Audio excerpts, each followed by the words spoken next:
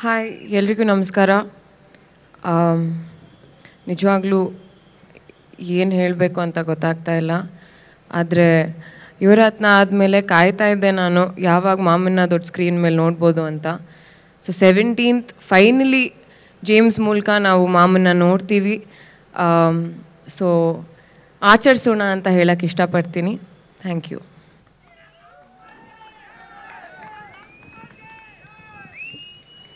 Hi ಎಲ್ರಿಗೂ ನಮಸ್ಕಾರ. ನಿಜವಾಗ್ಲೂ ಏನು ಹೇಳಬೇಕು ಅಂತ ಗೊತ್ತಾಗ್ತಾ ಇಲ್ಲ. ಆದರೆ ಯುವರತ್ನ ಆದಮೇಲೆ ಕಾಯ್ತಾ ಇದ್ದೆ ನಾನು, ಯಾವಾಗ ಮಾಮನ್ನ ದೊಡ್ಡ ಸ್ಕ್ರೀನ್ ಮೇಲೆ ನೋಡ್ಬೋದು ಅಂತ. ಸೊ ಸೆವೆಂಟೀನ್ತ್ ಫೈನಲಿ ಜೇಮ್ಸ್ ಮೂಲಕ ನಾವು ಮಾಮನ್ನ ನೋಡ್ತೀವಿ. ಸೊ ಆಚರಿಸೋಣ ಅಂತ ಹೇಳಕ್ಕೆ ಇಷ್ಟಪಡ್ತೀನಿ. ಥ್ಯಾಂಕ್ ಯು ನ್ಯೂಸ್ ಫಸ್ಟ್ ನಿಮ್ಮೊಂದಿಗೆ.